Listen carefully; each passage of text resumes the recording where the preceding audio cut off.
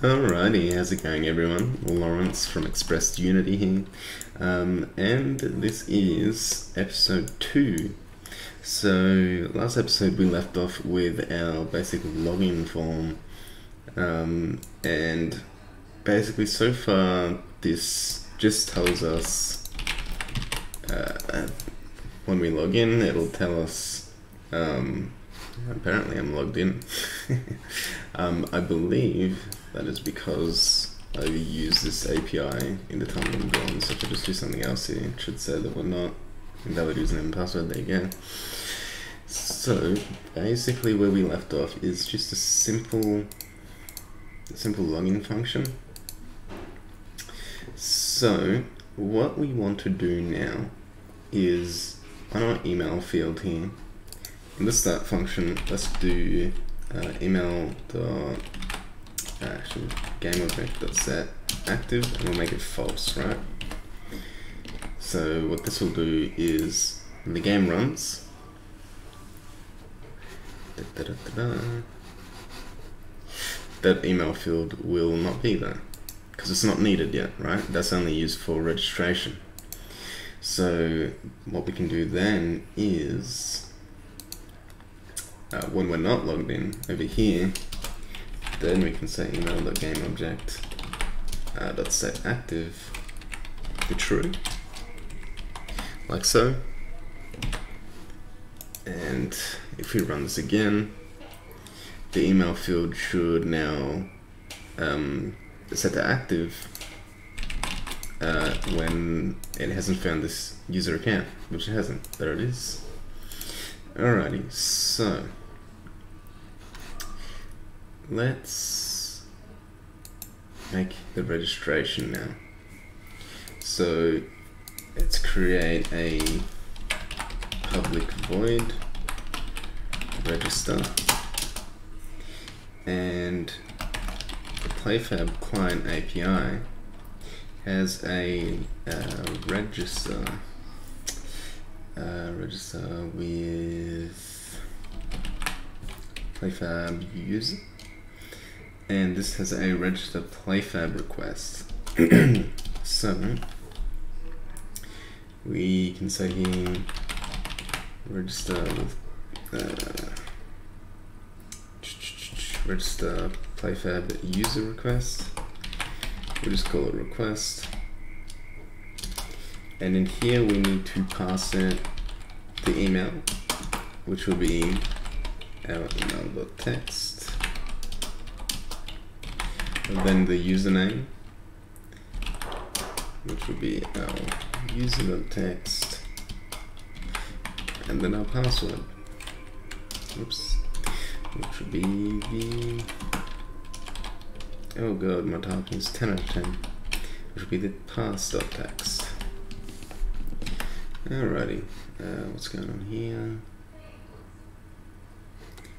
Oh yeah, uh, so we need to say equals new register playfab request. Alrighty. so that is all we need to request the uh, new user with playfab. So you can see the first field wants the request.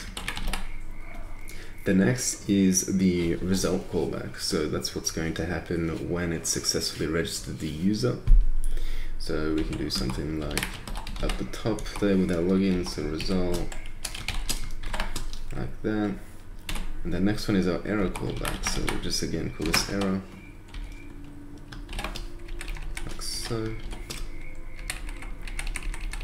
And just to make it look neat and tidy, I'm just gonna enter down again like so. Um, so what we can do now is let's Ooh. there we go. Let's create a panel.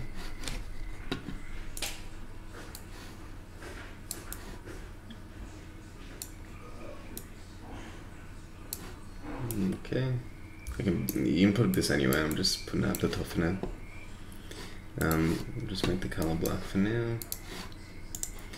In this panel, let's get some text, and I'm just going to just the field to fit the panel, center everything, and let's do best fit. And I'll change the color to white. Alrighty.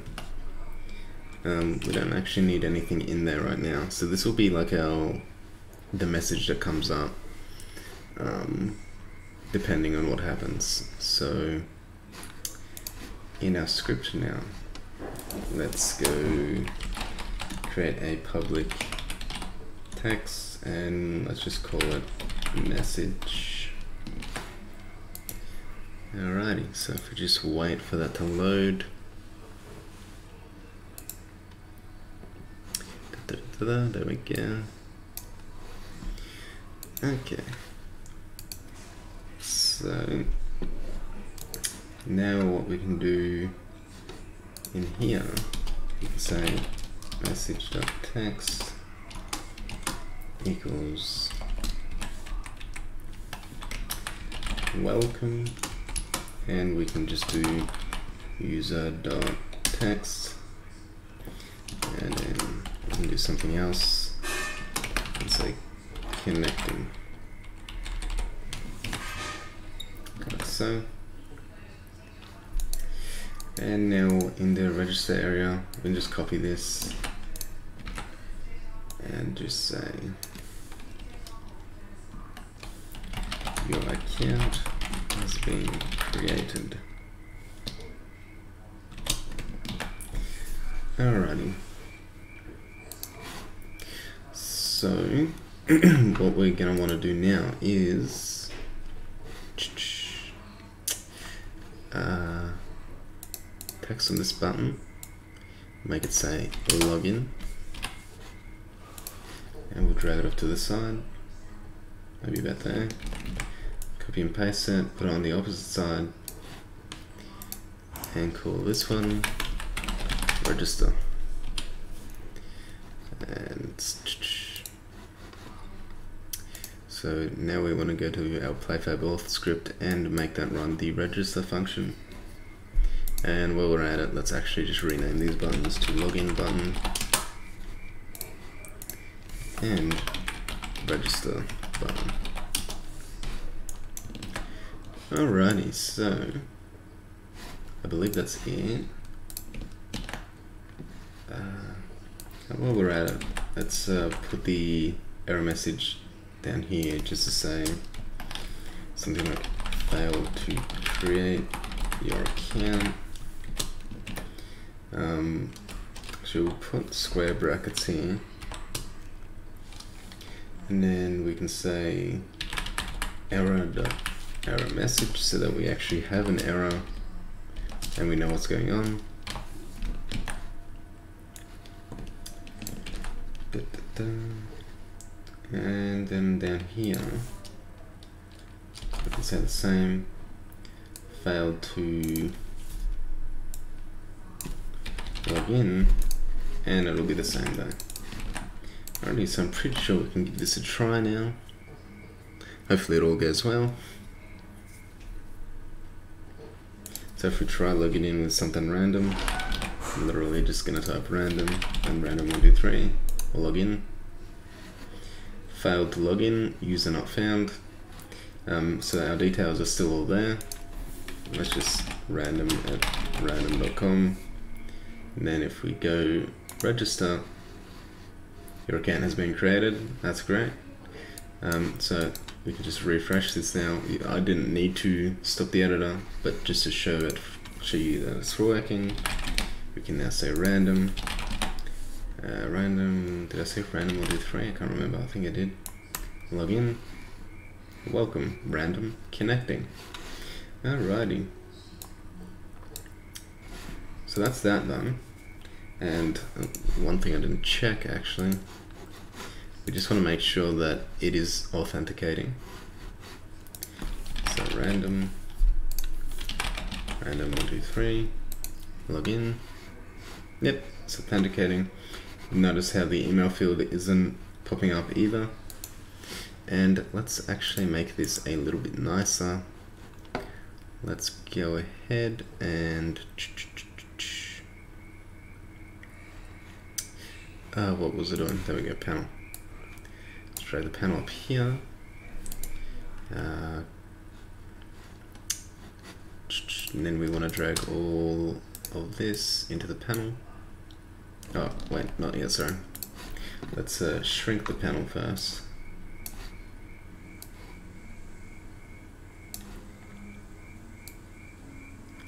Like so. There it is.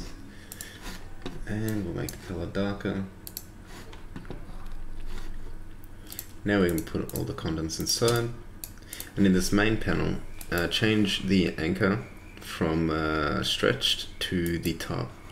So basically what will happen now is when, um, depending on the screen scale of your build, it should remain uh, basically at, at the same aspect ratio as it is now.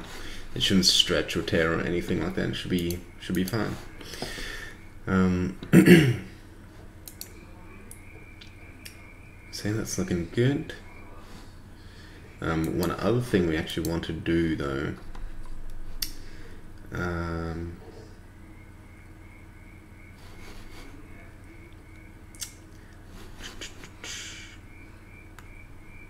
maybe we can leave it like this for now, but if, for example, you don't have an account, there's no email field there, I mean, it might work out. Let's try it.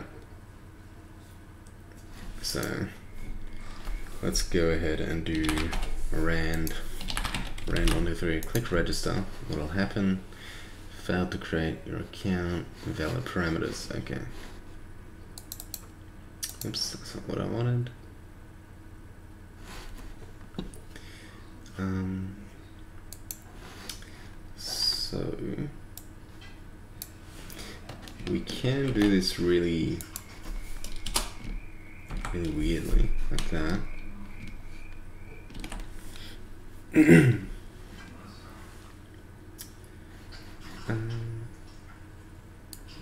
and just for now, let's change this to please enter your email. Alright, so let's give this another shot.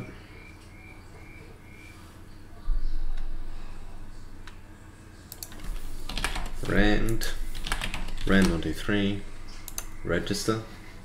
Please enter your email, rand at rand.com, register. Your account has been created. We don't really need that anymore.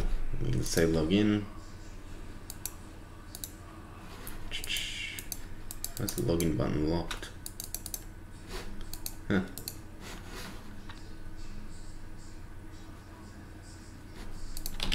Try it again. Login.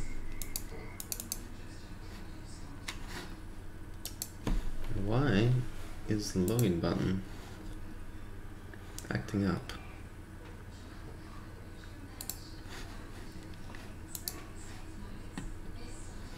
I can't actually, it's not to do with my code, I can't actually click the button. It's really weird.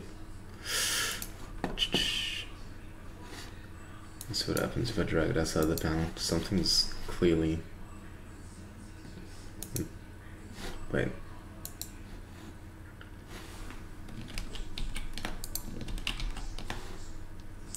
What's the text for it? Setting.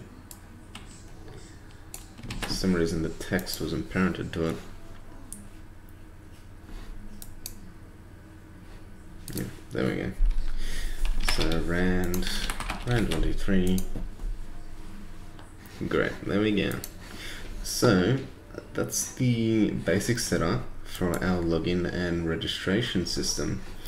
Now in our next episode, I'm going to be working on uh, the Photon side of things. So we'll be, after we log in, we will be connecting with Photon and we will be spawning our first little object that the players will be able to just walk around and, and whatnot. I still have not got an idea of want this of how I want this game to turn out, but I mean, it's getting there. So, alrighty, I'll see you guys in the next episode.